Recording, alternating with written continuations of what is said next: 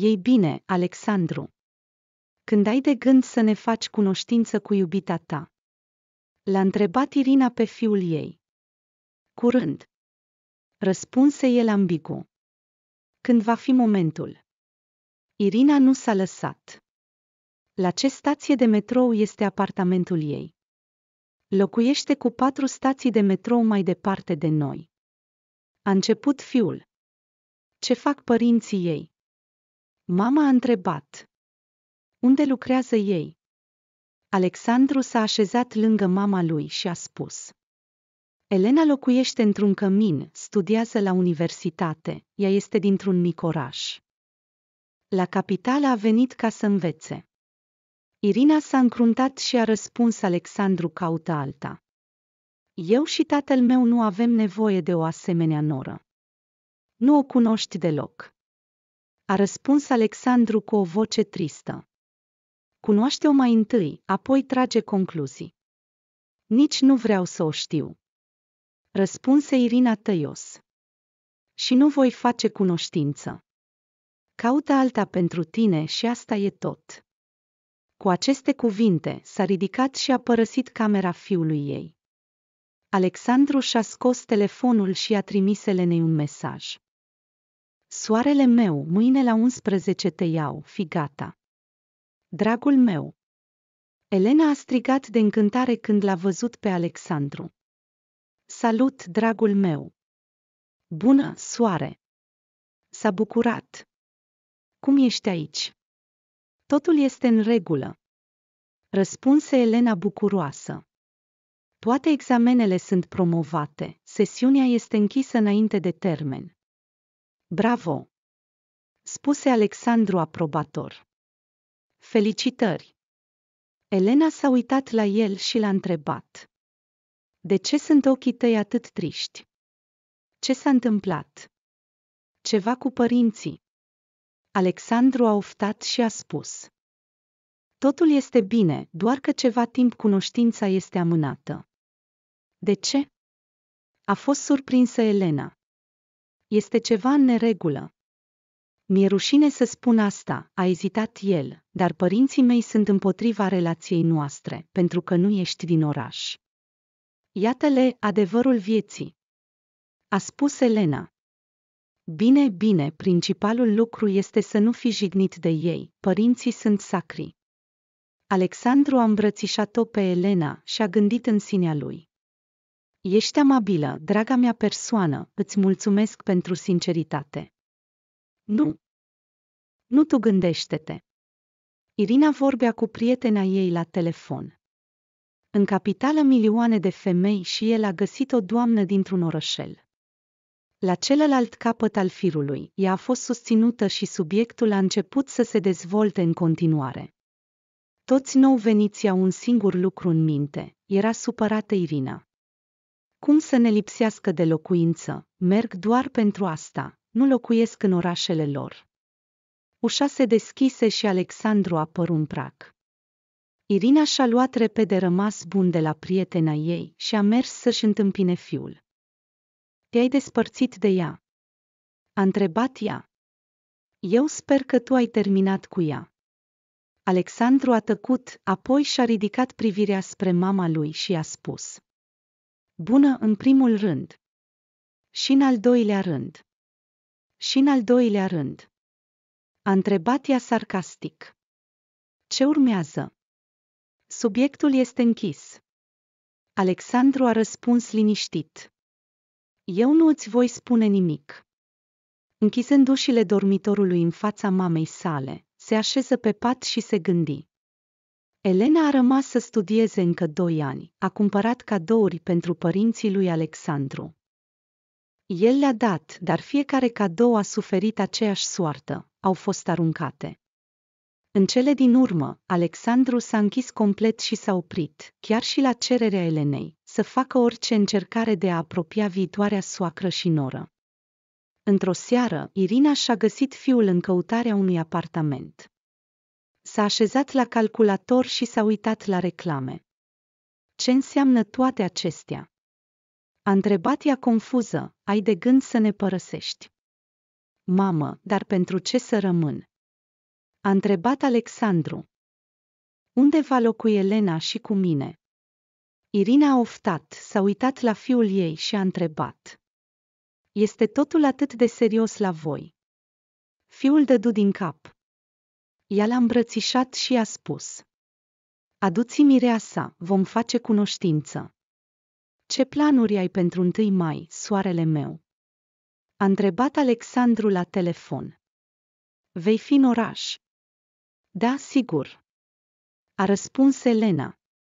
De ce ești atât de entuziasmat? Pe întâi mai, părinții mei te așteaptă să vin vizită. A spus el fericit. Deci pregătește-te. Elena nu a crezut ce a auzit. După ce a vorbit cu Alexandru, a reluat această frază în capul ei de mai multe ori și nu și-a putut realiza pe deplin că totul era în realitate. Cunoștința s-a desfășurat într-o atmosferă foarte caldă, tinerii erau nervoși, părinții lui Alexandru tot.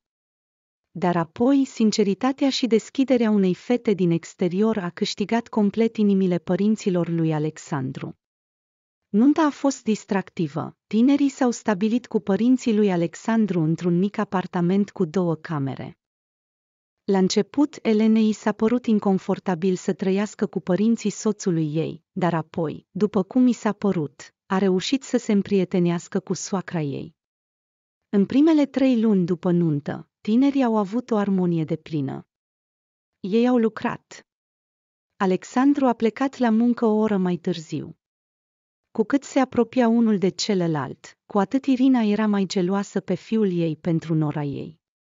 Într-o dimineață, plecând la serviciu, Elena și-a uitat telefonul și s-a întors după el. Deschizând ușa cu cheia, a auzit conversația soțului și a soacrei ei. Fiule, a spus Irina cu afecțiune. Mă uit la ea și văd că meriți mai mult, nu ți se potrivește. Alexandru a tăcut. Știi cât de mult te iubesc, a continuat ea, îți doresc doar fericire. Ce s-a întâmplat? A întrebat fiul îngrijorat. Poți să-mi spui direct. Tu ești traducător, a explicat Irina, dar cine este ea un fel de inginer? Înainte de a fi prea târziu, cât timp nu există copii, a spus ea cu grijă. Divorțează, fiule, Hai să mai așteptăm puțin, spuse Alexandru sec, vom vedea ce se întâmplă. Totul înăuntrul Elenei s-a răcit, deschizând ușa, și-a văzut soțul stând pe marginea canapelei și ținându-și mama de mână. Am ieșit acum cinci minute, i-a fulgerat prin minte, toată lumea dormea, probabil m-au așteptat să plec. Soarele meu. A întrebat Alexandru de parcă nimic nu s-ar fi întâmplat. De ce te-ai întors? Mi-am uitat telefonul, a spus Elena repede. Deja plec, nu te voi deranja. Elena a plecat la muncă epuizată. A fost atât de dureros și jignitor să audă de la persoana pe care o iubea din tot sufletul, după cum s-a dovedit, la spatele ei, la sugestia mamei sale, se gândea la un divorț. De ce? A țipat sufletul ei, de ce îmi face asta? Seara, după muncă, când toată familia se aduna la masă, Alexandru se uita cu greu la soția sa. Soacra povestea niște povești, iar socrul lua cina, uitându-se în farfuria lui. Întinsă în pat. Elena și-a îmbrățișat soțul, dar acesta s-a îndepărtat. Ce s-a întâmplat? A întrebat ea. Ce se întâmplă? Nu vorbi prostii, nu se întâmplă nimic. A răspuns sec Alexandru. Hai să dormim, mâine trebuie să mergem la muncă. În fiecare zi, distanțarea dintre Alexandru și Elena creștea. După câteva luni, au devenit din ce în ce mai străini. La ordinul mamei sale, a început să petreacă weekendul cu prietenii, iar Elena a rămas singură și a plâns în liniște din cauza faptului că nu mai avea nevoie de propriul soț. Mai târziu, Alexandru a început să stea târziu la serviciu și să se întoarcă cu urme de ruj pe guler. Lena a tăcut. Abia a mâncat, a dormit prost și a muncit din greu. De la un stabil de 60 de kilograme, greutatea ei a scăzut la 42, dar de asta nimănui nu-i păsa. Obosită de tot, i-a cerut managerului o vacanță și a plecat acasă. Surorile, frații, mama, sinceritatea și dragostea au readus-o la viață. Au trecut două săptămâni ca un moment și a venit timpul să se întoarcă în capitală la soț. Ce ai de gând să faci, fică? A întrebat cu afecțiune mama ei. Ceva trebuie decis, nu poți să te lași umilită în așa fel, înțelegi asta. Nu-ți face griji, mamă. O liniște-te, Elena. Dumnezeu vede totul. Duminică dimineață, Elena a ajuns în capitală conform programului. Alexandru nici nu a întâmpinat-o pe ea, deși știa de întoarcerea soției sale. A ajuns acasă singură. A deschis ușa cu cheia, a intrat și a rămas surprinsă. A simțit cu tot trupul, cu tot sufletul. Că nu este binevenit aici, i-a fost greu să respire, i-a venit un nod în gât. Elena a adus lucruri, i-a sărutat pe toată lumea, s-a așezat pe pat și s-a întors către soțul ei. Alexandru, ești mulțumit de toate. Am devenit complet străini, mă doare, mă doare foarte mult, de ce să trăiesc așa? Și copiii noștri ar trebui să se nască iubiți, înțelegi? Nu vreau copii de la tine. Răspunse sec Alexandru, privind în altă parte. Dacă ceva nu-ți convine, știi unde este ușa.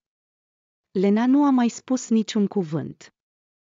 Luni dimineață, ea și-a părăsit serviciul, și-a adunat actele și a cerut divorțul. În seara aceleiași zile, i-a spus soțului ei că îl părăsește. Alexandru, a spus Elena calmă. Am cerut divorțul, mâine te părăsesc. S-a uitat la soția sa și a spus. Chiar așa, Bine, dacă asta vrei. Și cum ai cerut divorțul fără mine? Cererea este în instanță, a răspuns Elena încet. Nu am nicio plângere împotriva ta, copii nu avem, așa că totul va decurge bine. Alexandru a tăcut. Dimineața, Elena și-a împachetat lucrurile, Alexandru nu s-a dus la muncă. Stând în pragul apartamentului, Elena și-a îmbrățișat soacra, socrul, a deschis ușa. Elena, oprește-te! Irina a strigat. Artă-mă, nu pleca. Alexandru se uită uimit la mama lui. Irina și-a prins Nora de mână, a tras-o spre ea, a îmbrățișat-o și a spus plângând. Am cerut lui Dumnezeu o soție bună pentru fiul meu și abia acum mi-am dat seama că ești tu. Îmi pare rău. Iartă-mă dacă poți. Mamă. Nu plânge, totul a fost deja hotărât. I-a luat valiza și a părăsit apartamentul, urmată de Alexandru. Deschizând ușa taxului, i-a spus. Gândește-te și întoarce-te, poți să repari totul. Elena se uită la balconul unde stătea în lacrimi soacra ei. Prinzând privirea cumnatei ei, ea flutură cu mâna. Elena închise ușa mașinii și plecă. Timp de trei luni, Alexandru nu i-a dat soției sale niciun divorț, i-a cerut să se întoarcă și i-a spus că totul va fi ca înainte. Dar Elena nu l-a crezut. Cinci ani mai târziu, s-a căsătorit cu altul. Împreună cu soțul ei au doi fii. Alexandru a rămas să locuiască în continuare cu părinții săi și nu s-a mai căsătorit.